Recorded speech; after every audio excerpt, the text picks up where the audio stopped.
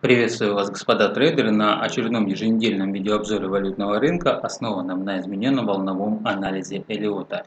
Валютная пара евро-доллар на прошлой неделе продолжила свое нисходящее движение. И сейчас мы видим небольшую возможную коррекцию вверх. То есть вполне возможно, что данная восходящая конструкция уровня H1 является волной B нисходящей конструкции. Потому что мы видим, что, во-первых, на данный момент волна С усеченная, то есть она короткая. И также мы видим, что на индикаторе авиасомый осциллятор у нас сформировалась дивергенция. Хоть и небольшая, но дивергенция, то есть эту слабость мы видим. Сейчас пока наклонный канал не пробит, поэтому может быть будут еще и покупки, которые мы тоже с вами разберем. И, конечно же, разберем с вами продажи. В первую очередь мы разбираем продажи по текущему основному тренду. Что надо для того, чтобы продавать. Для продаж необходимо первое условие – это пробить наклонный канал восходящей конструкции, тем самым мы ее завершим. После этого получить волну коррекции, волну B и продажи на пробитие волны А. Такая точка входа будет при усеченной волне С уровня H1. То есть мы видим, что конструкция уровня H1 имеет волну C усеченную. И вот как раз на завершении данной конструкции мы и будем продавать. Пробили наклонный канал, получили волну коррекции, волну B и вниз волна C на пробитии волны А мы продаем. Ближайшая цель 1.1304. Что надо для того, чтобы покупать валютную пару? Давайте перейдем на меньший таймфрейм. И мы видим, что вниз сформировалась нисходящая конструкция. Давайте эту конструкцию разберем для того, чтобы мы знали, когда она завершится. Вниз волна А, вверх волна Б и вниз, соответственно, волна С. Вот она нисходящая конструкция, которая сейчас сформировалась. То есть вот она вниз, волна С. Я ее просто не рисую, потому что это последняя волна, и я не вижу смысла ее рисовать. Если мы рассматриваем покупки, то мы предполагаем, что вот эта вот синяя волна вверх – это волна А, а вниз трехволновка – это волна B. Почему это волна B? Она будет волной B до тех пор, пока не пробьет уровень 88,2 по Фибоначчи от волны А, то есть не дойдет до уровня 1.1365. Когда будет уровень 1.1365 пробит, то это будет отмена волны B. На данный момент мы можем предполагать, что это вниз волна B.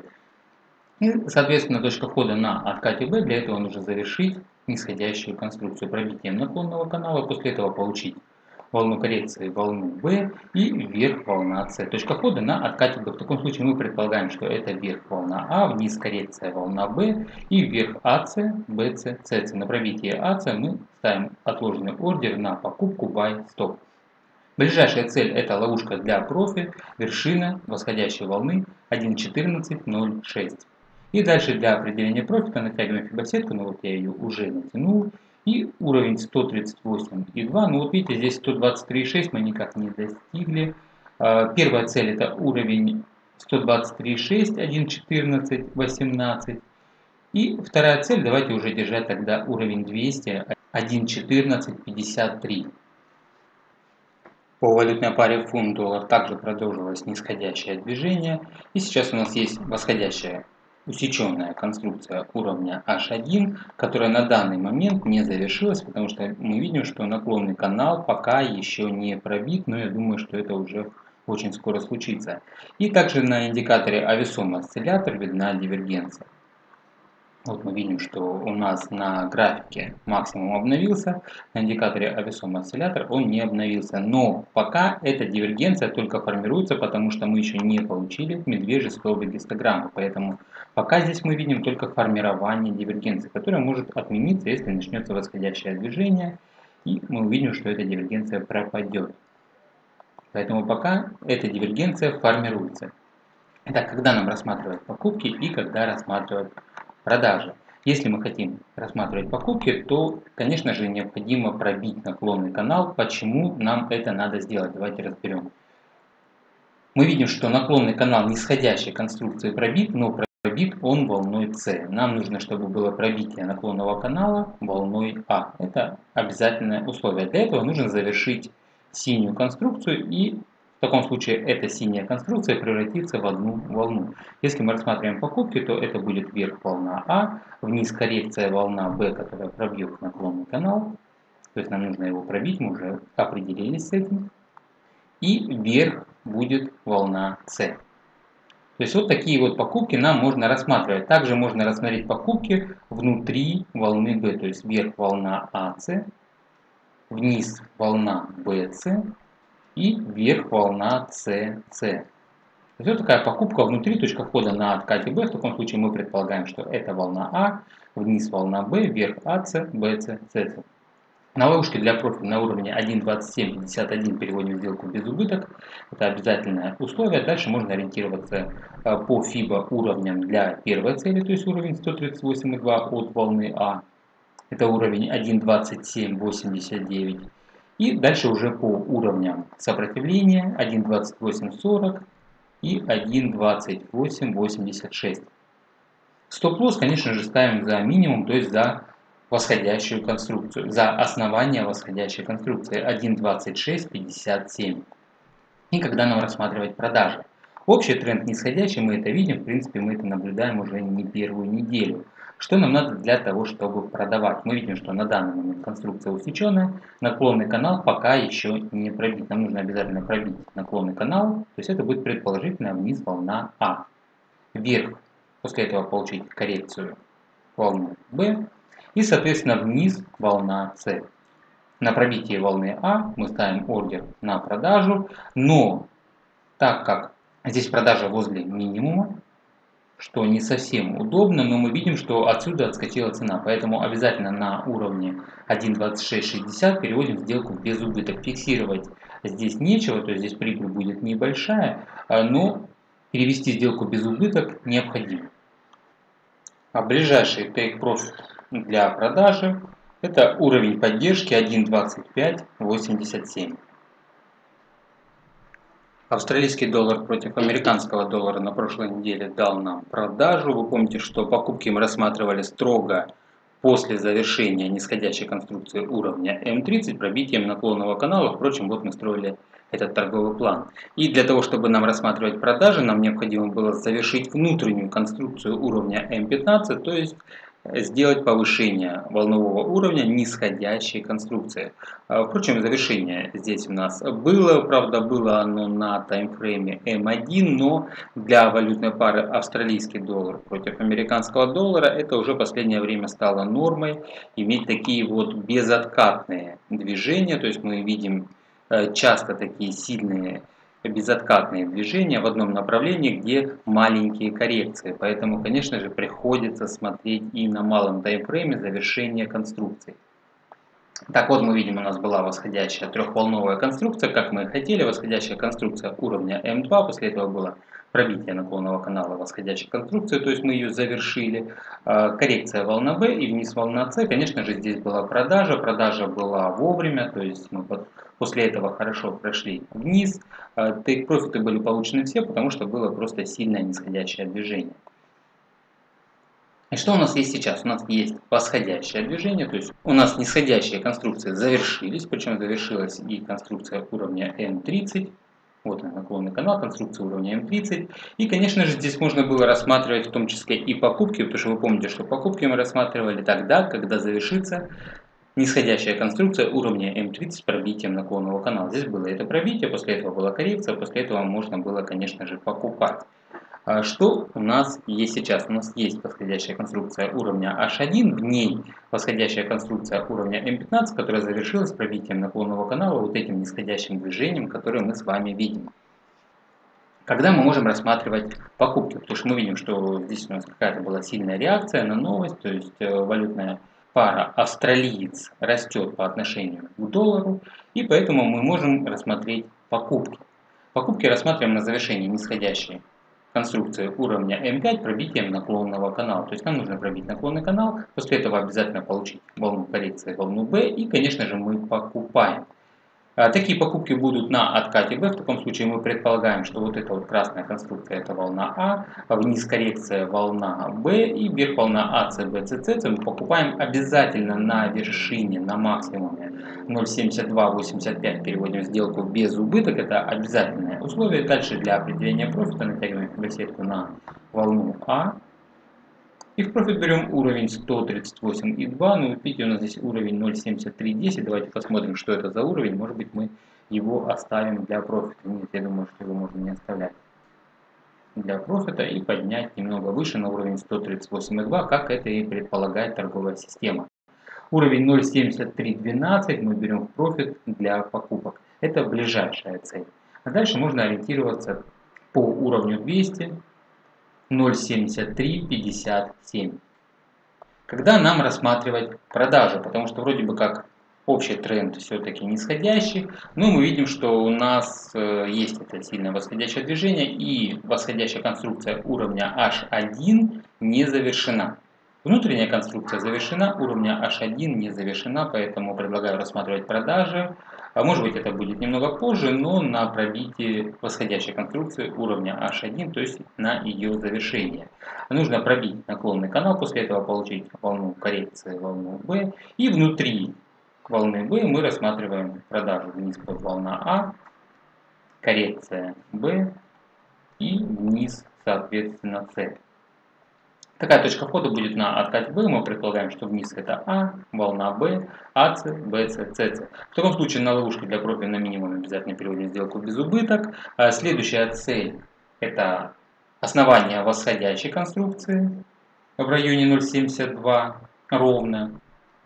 И также можно натянуть фибосетку на волну А, которая будет, и в профиль взять 138,2. То есть все как всегда. Новозеландский доллар против американского доллара также продолжил свое нисходящее движение. Покупок у нас не было, потому что покупки мы рассматривали строго на завершении всей нисходящей конструкции. А для того, чтобы продавать, нам нужно было получить просто трехволновую конструкцию, впрочем, как и по другим валютным парам. Так что у нас есть сейчас? У нас есть восходящая конструкция уровня М30, и она пока еще не завершена, то есть наклонный канал восходящей конструкции не пробит. Мы можем рассмотреть и покупки, и продажи. Для того, чтобы продавать валютную пару, необходимо пробить наклонный канал или пивот, но я думаю, что здесь э, будет все примерно в одно и то же время. Мы пробиваем наклонный канал с пивотом, это примерно в районе 0,6576. А после этого получаем волну коррекции, волну B. Если волна B будет глубокая коррекция, то можно внутри волны коррекции продать, то есть А, С, С. Если будет коррекция не глубокая, то на пробитии минимума мы продаем. То есть волна А, волна Б, волна С, на пробитии волны А мы будем продавать. Ближайшая цель для продажи это уровень 0.6545. Покупки рассматриваем на завершении этого нисходящего движения. Давайте перейдем на меньший таймфрейм и разберем данную нисходящую конструкцию. Вниз есть волна А, коррекция волна B, и вниз пошла волна С. Строим наклонный канал по нисходящей конструкции. Для того, чтобы рассматривать покупки, необходимо пробить наклонный канал, получить волну коррекции волну B, и на пробитие волны А мы рассматриваем покупку. Такая покупка будет на откате B, в таком случае мы предполагаем, что это вверх волна А, вниз коррекция волна B, и вверх А, С, Б, С, С, С мы покупаем. Ближайшая цель для покупки 0.6607. Если будет пробит наклонный канал восходящей конструкции, то это может быть повышение волнового уровня восходящей конструкции. В таком случае мы можем предположить, что вот эта трехволновка, это волна А, вниз, соответственно, коррекция которая пробивает наклонный канал, это волна B. И вверх трехволновая конструкция, на которой мы и входим в покупку. В таком случае для определения профита натягиваем фибосетку на восходящую трехволновку. И в профит берем уровень 138,2, 066, 31. Также можно брать в профит уровень 200, 066, 68. Валютная пара американский доллар против швейцарского франка продолжает находиться во флете. Уровни 0.9975 сдерживают покупателей и уровень 0.9904 сдерживает продавцов. И как мы видим, здесь у нас очень такое сильное противостояние. Попыток было много пробить уровни, но все попытки были неудачные. Поэтому лучше рассматривать более долгосрочные покупки строго выше уровня 0.9975 уже на закреплении выше уровня и продажи ниже уровня 0.9904 или торговля против тренда на отбой от уровня 0.9975 продаем и соответственно от уровня 0.9904 покупаем. Но э, такие точки входа должны подтверждаться каким-то дополнительным фильтром. То есть здесь мы вверху должны знать, что есть слабость покупателей, а внизу должны знать, что есть слабость продавцов. На данный момент восходящая конструкция уровня H8 усеченная, то есть она имеет усеченную волну C, но это естественно, потому что мы знаем о том, что уровень 0.9975 не пускает покупателей. Поэтому я по этой валютной паре буду ждать пробития какого-то из уровней и после этого уже находить коррекцию в виде трехволновки. То есть давайте мы э, нарисуем примерно, что это может быть. То есть мы пробиваем уровень, После этого получаем коррекцию. И эта коррекция, скорее всего, сделает ретест данного уровня. Потому что мы видим, что уровень очень сильный, и поэтому, скорее всего, будет ретест уровня. То есть уже с другой стороны, если здесь мы все время отбивались и уровень, уровень является сопротивлением, а, то после пробития он станет уровнем поддержки. И уже после этого получаем трехволновую нисходящую конструкцию. И на завершении трехволновой нисходящей конструкции я буду рассматривать покупки по-другому я здесь покупать не хочу, потому что просто видите, что уже долгое время нет никакого интереса ни у покупателей, ни у продавцов к данной паре. Ну, если есть интерес, то он какой-то слишком э, равнозначный, и поэтому мы не видим тренда, а торговать там, где нет тренда, мне не хочется. Поэтому пробиваем, получаем трехволновку и после этого уже рассматриваю покупку. То же самое с продажами, совершенно то же самое. Пробили уровень 0.99 0,4. После этого получили трехволновку вверх, восходящую трехволновую конструкцию, которая предположительно будет являться коррекцией, которая, скорее всего, сделает ретест уровня 0.9904. И на завершение этой трехволновки уже можно будет смело продавать. То есть пробили наклонный канал восходящей трехволновки, после этого получили коррекцию и после этого продали. А сейчас здесь говорить о том, что нужно покупать, ну, как-то несерьезно, потому что, видите, мы Здесь отбивались, здесь отбивались, здесь опять отбивались. Здесь тоже уровень не пускает покупателей. Поэтому я буду ждать, когда уровень будет все-таки пробит. И после этого уже выше этого уровня буду, конечно же, покупать. Ближайшие цели для покупок 1.0041 и 1.0066. И ближайшие цели для продажи 0.9866 и 0,9786. У меня на этом все. Зарабатывайте вместе с нами. Профита вам и благополучия. Пока.